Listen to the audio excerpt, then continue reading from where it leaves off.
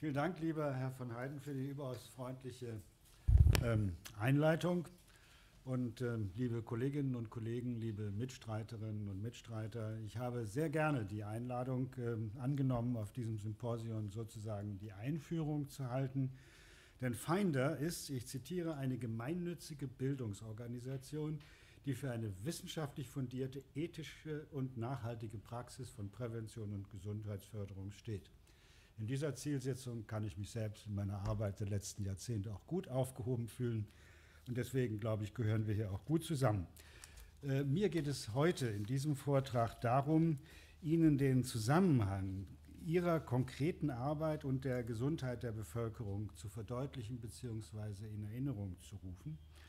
Es geht mir also um die Antworten auf die Frage, welchen Beitrag leistet oder kann leisten eine Organisation wie Finder mit ihren Angeboten und Programmen und Projekten für ein langes und gesundes Leben der Bevölkerung. Die Frage, die Sie selber angeschnitten haben, das ist dann nicht nur im Hinblick wichtig, Modellversuch ausrollen, sondern es ist eben insgesamt, was heißt Gesundheit der Bevölkerung ähm, zu beeinflussen.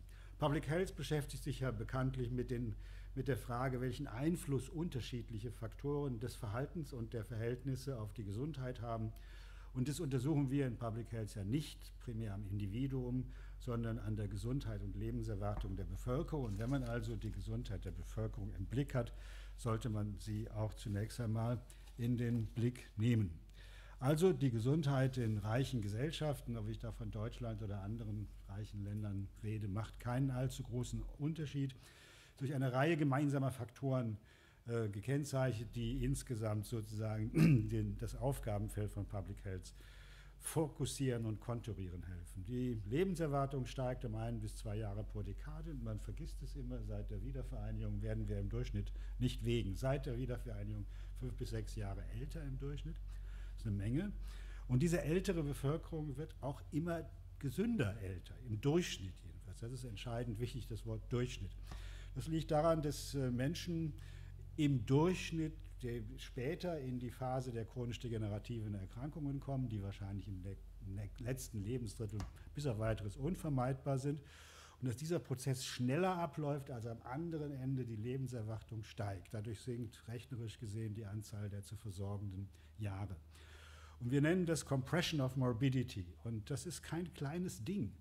Äh, wenn wir haben mal im Sachverständigenrat Gesundheit der Bundesregierung ausgerechnet, wie groß der Unterschied im Hinblick auf die Anzahl der Pflegebedürftigen bis 2050 ist. Ich finde Pflegebedürftigkeit und Vermeidung von Pflegebedürftigkeit einen durchaus interessanten Indikator für den Erfolg von Prävention.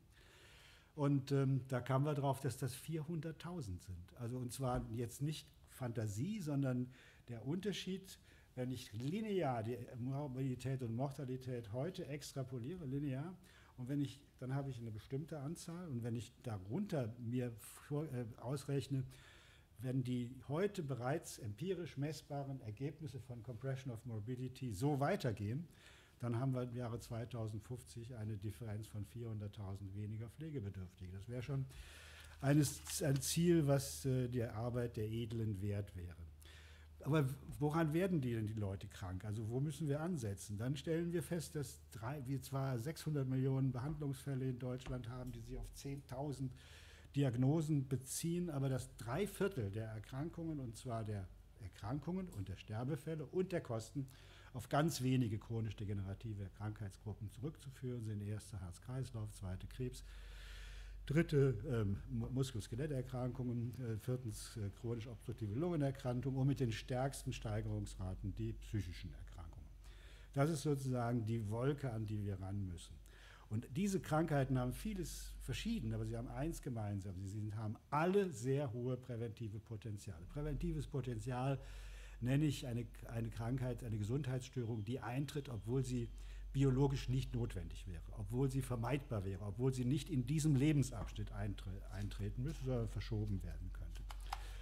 Das sind sozusagen die ersten vier Merkmale der Gesundheit in reichen Gesellschaften und daraus folgt das Ziel von Präventionspolitik ist die Verhinderung bzw. Verzögerung der Manifestation chronisch degenerativer Erkrankungen. Kommen wir jetzt aber weiterhin mehr ein bisschen Richtung Zielgruppen, also ein bisschen konkreter. Erstmal muss da eine Illusion ausgeräumt werden. Man liest immer, dank der Medi modernen Medizin werden wir immer älter. Nichts ist falscher als dieses. Von den Gesundheitsgewinnen der letzten Jahrzehnte erklären sich maximal ein Drittel durch Fortschritte der Medizin und Verbesserung der Krankenversorgung und zwei Drittel erklären sich eben andersrum, erklären sich durch Faktoren, die nicht im Bereich der Medizin liegen. Äh, und das heißt, es fallen ja lauter laufen Gesundheitsgewinne an, weil wir ja alle immer durchschnittlich älter werden. Und diese Gesundheitsgewinne, die jährlich anfallen, sind stabil ungleich verteilt. Und die sozial bedingte Ungleichheit von Gesundheitschancen ist groß, ich komme gleich auf Zahlen, und nimmt in den weiten meisten Ländern, so auch in Deutschland, zu. Und ich darf sagen, Pandemien und ähm, äh, Pandemien und ähm, Klimawandel und erst recht Kriege sind immer Ereignisse, die gesundheitlich und lebenserwartungsmäßig ungleich Impact haben und immer die Armen erst treffen. Und jede Epidemie in der Geschichte der Menschheit hat irgendwo angefangen, aber dann verlässlich geht sie die soziale Stufenhalter runter und vertrifft vor allen Dingen die, die unten sind.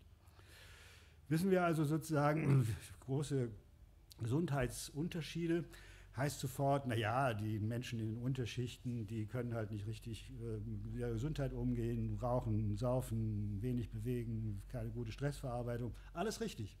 Es gibt ein riskanteres Gesundheitsverhalten in Unterschichten, aber das erklärt weniger als die Hälfte der sozial bedingten Unterschiede. Man kann das mit dem Konzept der Attributable Risks gut zuordnen und kommt dann zu sagen, über die Hälfte beruht auf anderen Faktoren, nicht auf Verhaltensfaktoren, also grob gesprochen sozusagen alle Felder von Public Health sind angesprochen, auch zentral das Feld soziale Teilhabe. Das heißt sozusagen in Verschärfung der Aussage aus der ersten Folie kann man sagen, substanzielle Verbesserungen äh, der, der Lage der, die gesundheitlichen Lage der Bevölkerung äh, sind nur oder sind primär zu erreichen durch Erfolge bei der Prävention chronisch degenerativer Erkrankungen in den unteren Sozialschichten also durch Verminderung der sozial bedingten Ungleichheit. Also auf Deutsch kurz gesagt, wir müssen eine Öffnung der Compression of Morbidity für die Unterschichten hinkriegen. Das ist sozusagen im Zentrum. Jetzt wollte ich ein paar Worte sagen zur Ungleichheit, weil das immer wieder auch für mich selbst eindrucksvoll ist. Es ist seit 40 Jahren ein Thema, was mich aufregt, muss ich sagen, und nicht aufzuregen aufhört. Das ist sozusagen, man sieht, dass die Ungleichheit der Gesundheitschancen sich über den gesamten Lebensverlauf, über die gesamte Biografie entwickelt. Und wir sehen hier also auf der linken Seite die äh, physische Gesundheit. Wir sehen da, die blauen sind immer die aus dem niedrigen Sozialstatus und die grünen aus dem oberen. Und wir sehen bei Jungen und Mädchen, äh, dass der allgemeine Gesundheitszustand eben bei Kindern aus der sozial benachteiligten Schichten zwei bis dreimal sind die da, ist der Gesundheitszustand schlecht oder sehr schlecht. Noch auffälliger sind die ja wesentlich höheren Quoten bei den psychischen ähm, bei der psychischen Gesundheit ähm, und äh, die psychischen Auffälligkeiten steht da gar nicht. Also links ist, äh, wollte ich sagen, allgemeiner Gesundheitszustand und rechts ist physische Auffälligkeit. Mir fällt was auf, steht da auf der Folie nicht. Sorry. Fehlt was, ist ein Fehler. Ähm, und das geht, das sind jetzt die Kinder von 3 bis 17. Und natürlich geht das dann im Erwachsenenalter genauso weiter. Hier ein bisschen anders gruppiert, links die Männer und da sieht man äh, ganz links den allgemeinen äh, Zustand und da auch wiederum immer der Abstand, zwar das zwei- bis dreifache unten gegenüber der Betroffenheit oben. Und das gilt auch für Diabetes hier als Leitbeispiel für chronisch Degenerative und das gilt auch für depressive äh, Symptome als Leitbeispiel für psychische Gesundheit. Und bei den Frauen sind die Unterschiede eher noch ausgeprägter als bei den Männern, aber sozusagen diese zwei- bis dreifache Betroffenheit ist als Standard.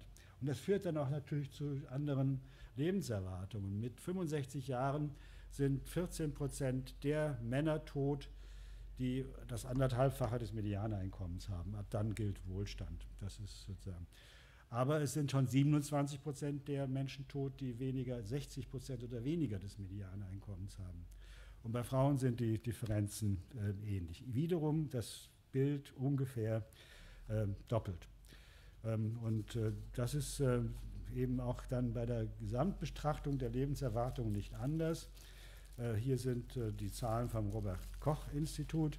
Also hier links die Lebenserwartung Männer. Knapp neun Jahre lebt ein Mensch länger, wenn er 150 Prozent oder mehr des Medianeinkommens hat und gegenüber einem Menschen, der 60 Prozent oder weniger, also an oder unter der Armutsgrenze lebt. Bei Frauen ist die Debatte, ist, ist die Differenz etwas kleiner, aber man muss hinzurechnen, dass die, das, das Nicht-Öffnen der Compression of Morbidity für die unteren Sozialschichten bedeutet, dass die im Durchschnitt, ein Mensch aus, der unteren Sozialschicht, aus den unteren Sozialschichten, dreieinhalb Jahre mehr an chronischer Erkrankung hat in seinem Leben. Das heißt, die ohnehin kürzere Lebensphase wird noch durch dreieinhalb Jahre mehr chronisch degenerative Erkrankung äh, sozusagen verkürzt oder beschädigt.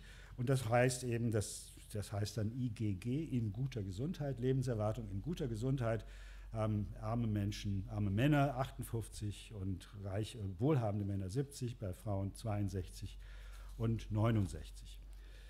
Ähm, wer ist das nun? Wenn wir schon über Zielgruppen reden, müssen wir auch wissen, wer ist denn das? Und da gibt es zwei Herangehensweisen, die auch oft miteinander durcheinander geworfen werden. Deswegen zeige ich sie beide. Ich kann entweder fragen, äh, wo, sind, äh, wo sind die meisten, in welcher Gruppe sind die meisten Menschen arm? Dann komme ich drauf, dass Erwerbslose zu fast 60 Prozent an oder unter der Armutsgrenze liegen, Alleinerziehende fast über, über 40 Prozent, kinderreiche Familien, Kinderreichtum in Deutschland ist ein reales, hartes Armutsrisiko. Ein Viertel Menschen mit geringer formaler Bildung, Menschen mit Migrationshintergrund jeweils 30 Prozent. Aber diese Zahlen sagen nichts daraus, wie sich die Armut in der Gesellschaft äh, verteilt. Das ist jetzt hier aus unserem paritätischen Armutsbericht, glaube ich, 21, 21. Und da stellt man nämlich fest, von den Armen in Deutschland sind 33 Prozent arbeitende Bevölkerung. Das sind prekär Beschäftigte, Aufstocker und sind fast ein Viertel Rentner, Rentnerinnen und Rentner. Das ist etwas, was gerne übersehen wird, sozusagen, dass die Armut äh, wenn man fragt, wenn man nicht fragt, wie viel Prozent einer Gruppe sind arm, das war die erste Frage, sondern man fragt, wie viel Prozent der Armen gehören unterschiedlichen Gruppen an, dann kommt man zu diesen Zahlen und, äh, und sieht, ich kann jetzt nicht einfach nur die, die, kinderreichen Familien aussuchen, sondern ich habe ein sehr weit viel weiteres Feld, muss eben auch die arbeitende Bevölkerung, Minijobs, prekär Beschäftigte sehen. Bislang war ja also jetzt von, in meinem Vortrag die Rede davon, dass der Platz auf der gesellschaftlichen Stufenleiter äh, sehr wesentlich äh, die Gesundheits- und Lebenserwartung äh, bestimmt. Jetzt kommen wir noch leider, muss ich sagen, weil das wird dadurch nicht unkomplexer, einen Schritt weiter. Es ist nicht nur der Platz auf der Leiter, die meine Lebenserwartung und Gesundheitserwartungen bestimmt, sondern auch die Länge der Leiter selbst. Der von mir sehr geschätzte Sozialepidemiologe Richard Wilkinson hat gesagt, also man hat da die spontane Annahme im Kopf, wenn wenn also so viel Geld haben mit Gesundheit zusammenhängt, dann müssen doch die Länder, wo das Bruttoinlandsprodukt pro Kopf am höchsten ist, müssen dann eigentlich am gesündesten sein. Und hat das hier so aufgetragen, hier auf der Abszisse Life Expectancy, auf der, äh, ähm, auf der Ordinate das nationale, also das BIP pro Kopf. Und was kommt raus? Nix. Es ist eine Wolke. Daraus kann man überhaupt nichts ersehen. Dass da weiß man ja nun gar nichts. Also als Sozialwissenschaftler ist man kreuzunglücklich, wenn man so ein Ergebnis hat. Und dann hat er das aber den gesagt, jetzt sortieren wir es nicht nach BIP pro Kopf, sondern nach dem Gini-Koeffizienten, also nach der Verteilung. Und dann kommt dieses raus. Dann kommt eine sehr, sehr kleine Regressionsgrade raus, die zeigt sozusagen die egalitärsten Länder im Einkommen, immer noch Japan, sind am spitzenmäßig am besten und die Ungleichheit, ungleich verteiltesten Länder, Portugal, sind am schlechtesten drauf. Und er hat dann eben nicht nur Geldeinkommen miteinander verglichen, sondern er hat auch gesagt, was macht diese Geldverteilung eigentlich mit anderen Indikatoren und kommt dann auf das, was da links neben, der, äh, neben dem Kasten steht. Also je weniger Ungleichheit haben, desto höher die Lebenserwartung, desto besser die Kenntnisse in der Bevölkerung von, also von schulische Kenntnisse, desto niedriger ähm, die, die, die, ähm, die Säuglings- und Kindersterblichkeit, desto weniger Mord und Totschlag, desto weniger Menschen im Knast, desto weniger zu frühe Schwangerschaften, desto mehr, und das ist für die Entwicklung der Gesellschaft zentral, Vertrauen, desto, wenig, desto weniger hin wiederum Übergewicht, desto weniger ähm, ähm, psychische Gesundheit und je ungleicher oder je weniger Ungleichheit ist, desto höher die soziale Mobilität. Und die soziale Mobilität ist, wir wissen, irgendwie eine ganz zentrale Variable, wenn wir über gesellschaftliche Entwicklung reden. Und das ist jetzt nicht trivial in dem Sinne, dass die Menschen, die Gesellschaften, die äh, wo die Verteilung ungleicher ist, halt mehr Arme sind und die deshalb früher sterben. Nein, nein, in Schweden lebt sogar ein Mensch der, gehoben, der oberen Mittelschicht, wo ich mich ungefähr einsortieren würde, auch sechs bis acht Monate im Schnitt länger. Das heißt, es ist eine Entwicklung, die allen zugutekommt und die nicht nur sozusagen Wohltätigkeit ist, sondern im Grunde genommen ein verantwortungsvoller Umgang mit Zukunft. Der Richard Wilkinson, ein Freund klarer Worte und Symbole, hat es dann auf diesen Punkt gebracht, sozusagen, äh, je größer die Einkommensungleichheit, desto mehr soziale Probleme haben wir. Das ist richtig, aber ich möchte an der Stelle sagen, das ist kein Aufruf zum Kommunismus. Das ist eigentlich immer sozusagen abzuwägen, äh, wie viel Ungleichheit brauchen wir, um Leistung und Besonderes und zu, anzureizen und zu belohnen. Das will keiner abschaffen. Aber wie viel Gleichheit brauchen wir, um den Zivilisationsstandard zu halten, den wir haben? Und in dieser Dis scheint mir eben das, äh, die, die, die Gleichgewicht nicht mehr gegeben zu sein. Wenn man das wirklich ernst nimmt, was ich da jetzt vorgetragen habe, dann ist man unmittelbar bei dem Konzept von Health in All Policy. Das ist ein Konzept für die öffentliche Gesundheit in allen Sektoren, die systematisch die Auswirkungen von Entscheidungen auf Gesundheit und Gesundheitssysteme berücksichtigt, Synergien sucht und schädliche Auswirkungen auf die Gesundheit vermeidet um die Gesundheit der Bevölkerung und gesundheitliche Chancen gleich zu verbessern. So die WHO 2013. Wenn man das, dieses wirklich ernst nimmt, dann ist es natürlich so, dass dann Arbeitsmarktpolitik Gesundheitspolitik wird. Denn ich beeinflusse die Be Gesundheit der Bevölkerung damit.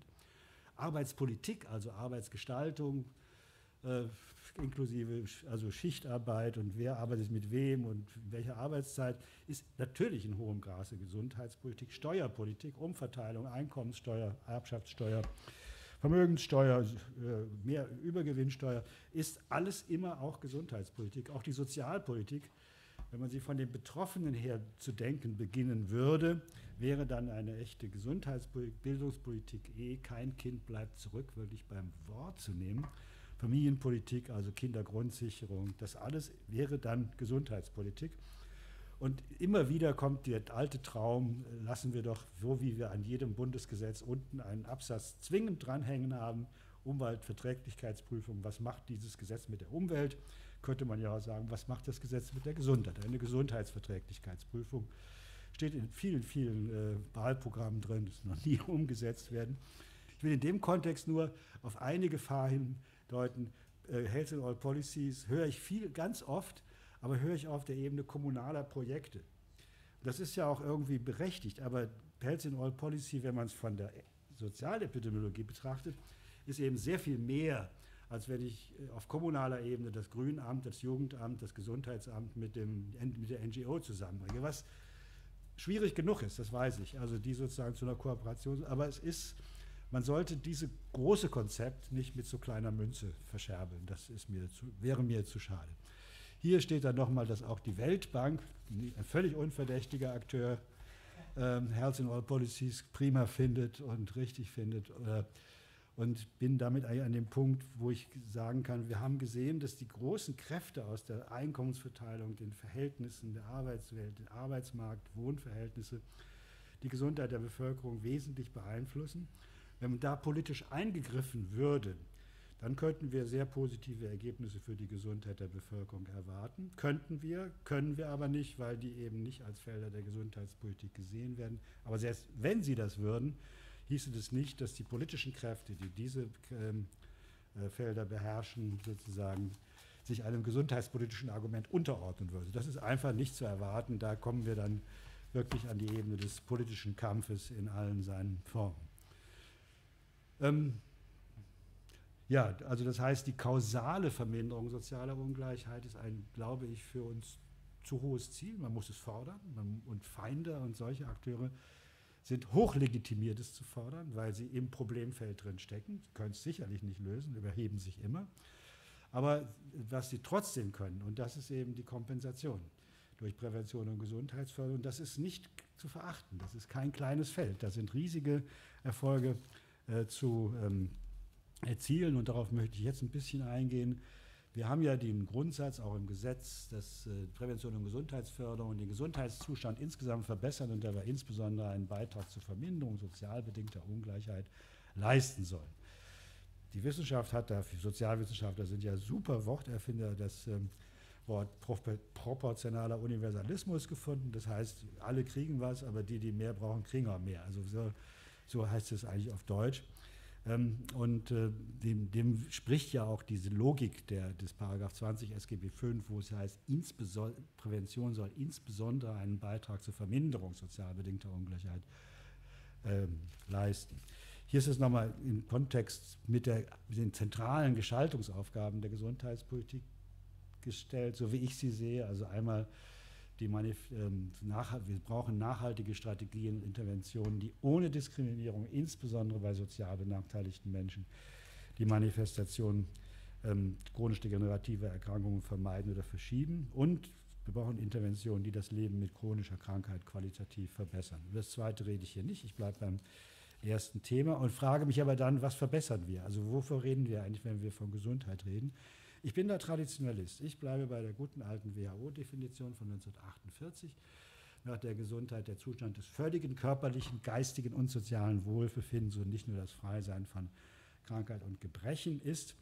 Ich sage das, weil, weil, weil, also weil die anderen, die schönen, es gibt hunderte Definitionen, das Schweigen der Organe finde ich poetisch wunderbar, aber auch mir zu wenig oder die Abwesenheit von Behandlungsbedürftigkeit, so wie es das SGB V sieht, ist mir auch zu eng. Und dagegen, gegen WHO wird immer gesagt, das ist doch Utopie. Natürlich ist das Utopie. Wir brauchen ein Leuchtturm. Wir brauchen ja auch Leuchttürme nicht, um dagegen zu fahren, sondern sozusagen, wir brauchen einen Leuchtturm, um zu wissen, entfernen wir uns oder nähern wir uns dem Ziel. Dafür ist ein Leuchtturm da und insoweit ist die WHO-Definition für mich äh, der Leuchtturm. Und es ist auch ein empirischer Grund. Menschen, die in diesem Sinne Wohlbefinden haben, egal in welchem Alter, haben wir die beste äh, Chance, gesund alt zu werden. Das ist auch wirklich nicht, man, wenn man kleiner anfängt und sagt, es geht nur um die Abwesenheit von Behandlungsbedürftigkeit, kommt man da gar nicht hin. Wenn ich jetzt Gesundheit beeinflussen will, dann muss ich fragen, wo kommt die denn her und wie wird sie beschädigt? Und da gehe ich eigentlich in Übereinstimmung mit den meisten moderneren Gesundheitstheorien davon aus, dass es eine, die Balance die immer prekäre, immer ringt der Mensch um Homöostase zwischen Gesundheitsbelastungen und Gesundheitsressourcen. Und die kann ich natürlich auch wieder in Schubladen teilen, physische, psychische und soziale, wobei das immer ein Schein ist, weil wir sind als Menschen unhintergehbar biopsychosoziale Einheiten und die Aufteilung in Schubladen ist eine erste Sortiermaschine, aber nicht, um wirklich etwas zu verstehen. Und natürlich will man die Belastungen senken und die Ressourcen erhöhen. Physische Belastungen sind natürlich Rauchen, Bewegungsmangel, schlechte Ernährung, viel zu viel, Al zu viel Alkohol, Schichtarbeit, ähm, Lärm und auch eine Behinderung. Das ist ja keine Krankheit, sondern eine gesundheitliche Belastung. Oder für psychische, was ist das? Über- Unterforderung, Ausschluss, Pessimismus, Exklusion, Erleben, das sind die psychischen Belastungen. Und soziale ist dann eben das, was die Gesellschaft dazu leistet, Ausgrenzung, Mobbing, Diskriminierung, Teilhabehürden. Bei den Ressourcen ist klar, physische Gesundheitsressourcen, guter Trainingszustand, ähm, gute Ernährung und guter Schlaf und so weiter. Und bei den psychischen sozialen Gesundheitsressourcen würde ich gerne ein bisschen länger verweilen und erstmal fragen, wozu brauchen wir eigentlich Gesundheitsressourcen? Es ist ja nicht nur, um abstrakten Gleichgewicht herzustellen, sondern wir brauchen sie, um Handlungs-, um äh, die psychischen und physischen Bewältigungsmöglichkeiten von Gesundheitsbelastungen zu erhöhen. Also man nennt das heute modisch Resilienz. Darum geht es, also Resilienz, resilienter zu werden gegen Belastungen. Zweitens brauchen wir Gesundheitsressourcen, um ähm, Handlungsspielräume zur Überwindung von gesundheitlich belastenden Verhalten zu vergrößern. Äh, der, der, ähm, der Teilzeitprofessor hat erheblich bessere Chancen, sich das Rauchen abzugewöhnen, als die Schichtarbeitmutter, mit die allein zwei Kinder gleichzeitig erzieht. Das ist klar. Und, äh, und, man, und Ressourcen braucht es, um sich aus der eigenen schlechten Situation zu befreien, ein anderes Leben vielleicht anzustimmen. Und das ist, ähm, gibt es aber nun zwei Sorten von Gesundheitsressourcen. Da kommen wir teil zurück, was ich eben gesagt habe. Das sind die objektiven Bildung, Einkommen, Handlungsspielräume für die Gestaltung des eigenen Lebens und Zugang zu sozial hilfreichen, Netzen. Das sind wohl die stärksten sozialen Determinanten. Das ist aber ebenso wie mit hier, mit Health in All Policies. Da kommen wir durch Gesundheitspolitik nicht ran, obwohl es da am effektivsten sein könnte. Ähm, und, ähm, ähm, aber es gibt eben auch die subjektiven Gesundheitsressourcen. Das ist das gute und stabile Selbstwertgefühl.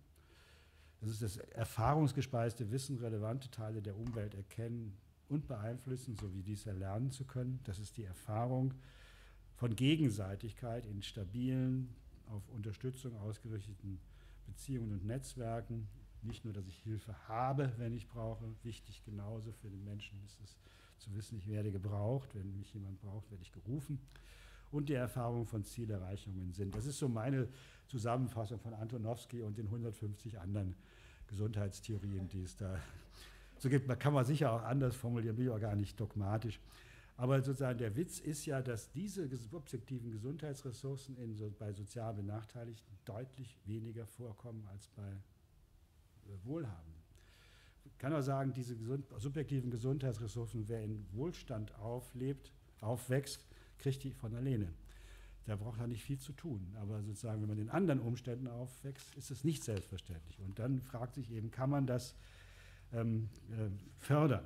Und da sind wir bei der Erörterung mit der Gesundheits subjektiven Gesundheitsressourcen sehr nah dran an Gedanken und Konzepten zur Lebenskunst. Und ich freue mich, dass auf den, Ihren Vortrag, äh, lieber Herr Schmidt, also ich kenne, ja, weiß ich, ob das Ihr Opus Magnum ist, mit sich selbst befreundet sein. Das habe ich äh, zu Gänze mit viel großem Gewinn für mich gelesen und halte es für eine sehr gute Idee von Finder, uns mal zu poolen, sozusagen, mal zu gucken, was dabei rauskommt.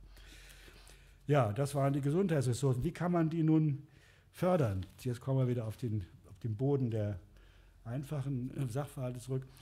Man kann Primärprävention eigentlich auf drei Ebenen betreiben. Man kann sagen, ich richte mich an das Individuum oder ich richte mich an die Lebenswelt oder ich richte mich an die ganze Bevölkerung und ich kann sie in Kolumnen aufteilen. Dann kann ich sagen, die eine kommt mit Information, Aufklärung und Beratung hin und die andere sagt, nee, das wirkt nicht, sondern ich muss zugleich auch das Setting, die Lebenswelt, die Verhältnisse angehen, in denen sich dieses Verhalten entwickelt hat und abspielt.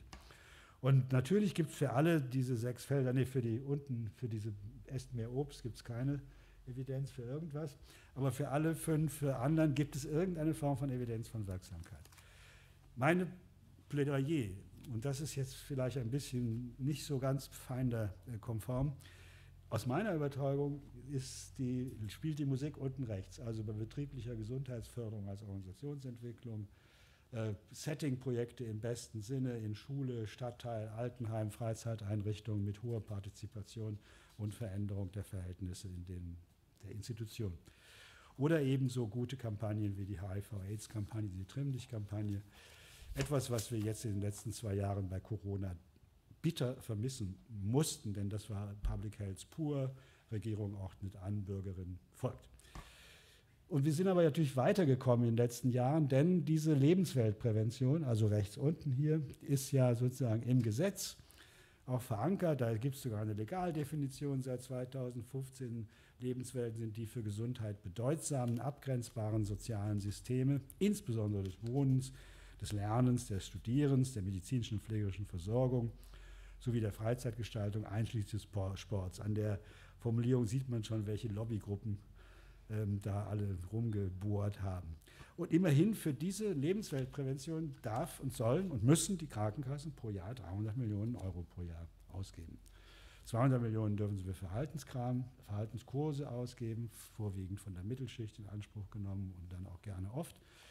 Aber ich fand, wir fanden das alle einen super äh, Vorschlag. Es gibt herbe Kritik an der Umsetzung dieses der, äh, Kritik und deshalb eine lebhafte Diskussion zur Novellierung des Präventionsgesetzes. Das muss ich jetzt alles hier weglassen. Ich wollte auf das Konstrukt der Lebenswelt noch kurz eingehen, weil das mir auch im Schluss, also konzeptionell im Zentrum steht. Lebenswelt ist ein definierter und für die Nutzerinnen wichtiger Sozialzusammenhang, also nicht, wo sie mal zufällig rumrennen, entweder gekennzeichnet durch formale Organisation, dann reden wir über Kita, Schule, von mir aus auch über Knast und Kasernen, das ist auch regionale Situation, dann reden wir über Stadtteil, Dorf, Kiez, Quartier. Gleiche Lebenslage, dann reden wir über Arbeitslosigkeit, Migrationshintergrund, äh, Rentnerdasein. oder gemeinsame Werte, Präferenzen, dann reden wir über Religion, dann reden wir aber auch über sexuelle Orientierung und so weiter. Generell kann man sagen, leichter ist es in Lebenswelten zu intervenieren, die durch formale Situationen, Organisationen und regionale Situationen gekennzeichnet sind. Aber es gibt Ausnahmen. Die ganze äh, hocherfolgreiche HIV-Prävention war dadurch fokussiert, dass es sozusagen den Fokus gemeinsam sexueller Orientierung gab, die dann auch ja, bei den schwulen Männern zur Entwicklung, Gestaltung und auch zur präventiven Gestaltung von Lebenswelten geführt hat. Da soll nun interveniert werden. Und jetzt ist das eigentlich auch im Gesetz so festgestellt, das soll eigentlich eine systemische und partizipative Intervention sein. Und ich unterstelle diesem hochmögenden Kreis, dass ich den Unterschied zwischen systemisch und systematisch nicht erklären muss. Und es soll partizipativ sein. Und das heißt, nach dem guten alten Grossmann-Skala, dass wir eigentlich als Profis in Lebenswelten, in Menschengruppen intervenieren. Dann passiert da irgendwas. Das können wir und sollen es auch gar nicht genau kontrollieren oder zu steuern versuchen. Dann müssen wir den Eigensinn der Menschen schon nicht nur tolerieren, sondern eigentlich noch fördern. Ähm, und dann kommt eben irgendwas unten raus, was wir nicht so genau vorhergesehen hatten. Und das muss man billigen, weil sozusagen der, der gibt kaum einen Punkt in, in, in, sozialer Praxis, wo dieser, dieser Satz, dass der Weg das Ziel ist, äh, sozusagen mehr Wahrheit hat. Das Entdecken, dass die Welt veränderbar ist, das Entdecken, dass man gestalten kann, dass ich nicht hinnehmen muss, wie das alles ist, ist vielleicht wichtiger als der konkrete Output. Dann soll natürlich, das gehört dazu, äh, systemische und partizipative Intervention heißt, dass Ziele und Aktionen durch die Stakeholder, das heißt durch die Nutzerinnen und Nutzer, selbst definiert werden. Und das Ziel dabei ist, dass sie sich die, die Wahrnehmung von sich selbst, von ihrer Umwelt verändert und sich dadurch ihr Verhalten auch verändert und sie dadurch auch bereiter sind, an der Strukturveränderung teilzunehmen. Und das Ziel ist natürlich, weil das immer weitergehen muss, lernende Organisation. Was heißt das denn nun für die ähm, konkrete Durchführung? Die Aufgabe der Professionals ist auf keinen Fall in solchen Aufga äh, Projekten Education. Sie sollen sich wirklich die Finger davon halten und auch nicht Lob und Tadel verteilen, sondern das Ziel ist Ermutigung, die Förderung von Interaktion untereinander und in Gruppen, die Ermöglichung von Aktionen und die Unterstützung der Zielgruppen durch anwaltschaftliche Interessenvertretung, Information und Herbeischaffen der materiell-technischen Mittel. Und bei den Zielgruppen geht es um Gottes Willen nicht äh, um Gesundheit. Also die guten Interventionen haben eigentlich nicht mal Gesundheit im Titel. Da geht es um ganz anderes. Da geht's um, es geht ja darum, einen Schritt zurückzutreten und zu sagen, was befähigt Menschen eigentlich, ihre Gesundheit, sich selbst in dieser Umwelt wahr, wahrzunehmen, ernst zu nehmen, für veränderbar zu halten. Und deswegen ist der, die, die primäre Orientierung auf, ähm, auf nicht rauchen und tausend äh, Schritte oder was ist, kann man machen, aber kann man auch bleiben lassen. Das ist kein großer Unterschied. Es geht eben hier direkt um die Förderung der subjektiven Gesundheitsressourcen. Selbstwertgefühl, Selbstwirksamkeit, Reziprozität, Gegenseitigkeit, soziale Verankerung, Zuversicht und auch um reale Verbesserung. Die meisten Projekte, die ich kenne, ist die reale Verbesserung bei betrieblicher Gesundheitsförderung, neue Lüftung, neuer Schichtplan, auch prima. Aber ich habe, weiß als Gesundheitswissenschaftler nie, was ist jetzt eigentlich wichtiger? Dass sie den Prozess gemacht haben oder dass sie eine neue Lüftungsanlage gekriegt haben. Das ist nicht leicht zu entscheiden. Beides ist wichtig, ganz klar. Aber, aber und es ist eben auch eine Herangehensweise, dass sich von der alten Präventionslogik verabschiedet. Die alte Präventionslogik war Wissen, ich pumpe Wissen in die Köpfe, bis sie platzen oder fast bis sie platzen, dann ändert sich die Einstellung. Und wenn sich die Einstellung, der Attitude geändert hat, dann verändert sich auch das Verhalten. Dies hier geht andersrum vor. Wir machen erstmal verändernde Praxis.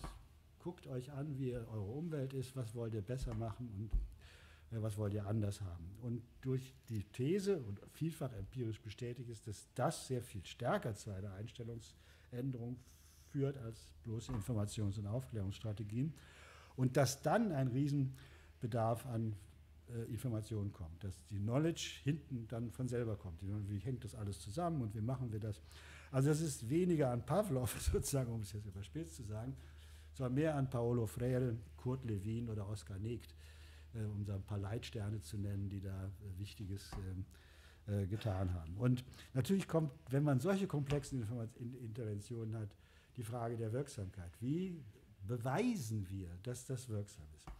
Wir machen solche Interventionen im Kindergarten im Grunde genommen mit der Vorstellung, dadurch die Wahrscheinlichkeit des Herzinfarkts 60 Jahre später zu mindern. Und das ist eine hohe Aufgabe, sowas zu beweisen. Ich kann das auch nicht.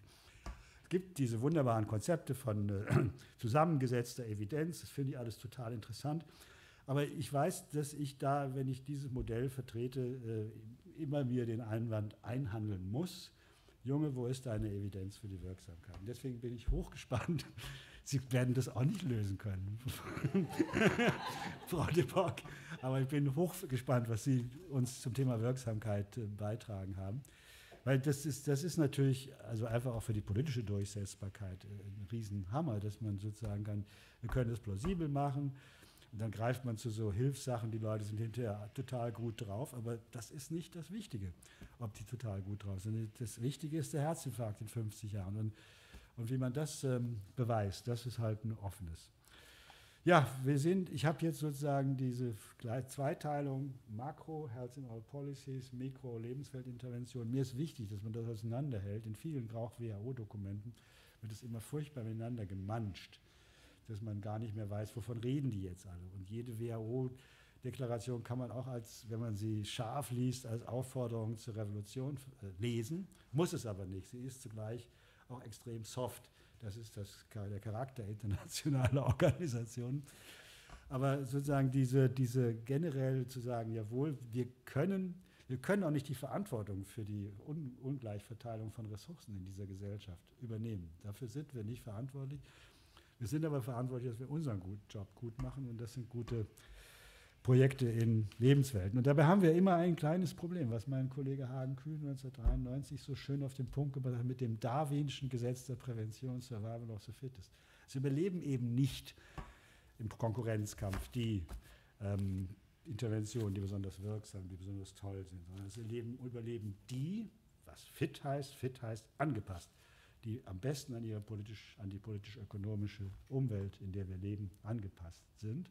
Und dann ist es eben total easy, wenn ein neues Gesundheitsproblem kommt, erstmal die Mediziner zu fragen. Selbst bei einer Pandemie fragt man dann nicht die Public Health, sondern die Virologen und macht das erstmal.